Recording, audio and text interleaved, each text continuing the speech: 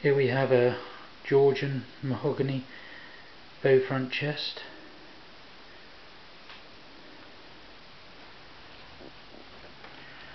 And this lovely rosewood cross banding edged in boxwood. It's nice how it comes down the front as well.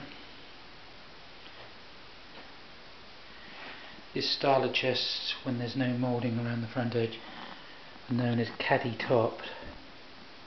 But as you can see it's got a lot of interest in the grain, the timber on the top.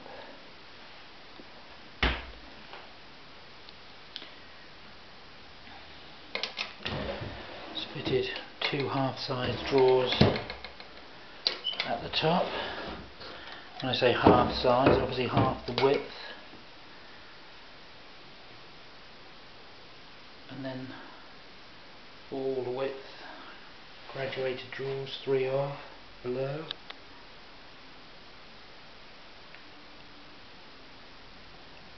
Brass handles, ovals.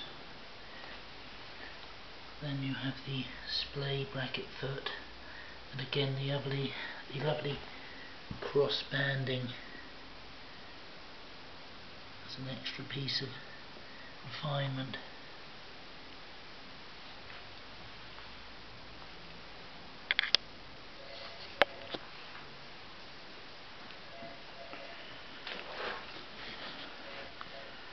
Nice mahogany sides.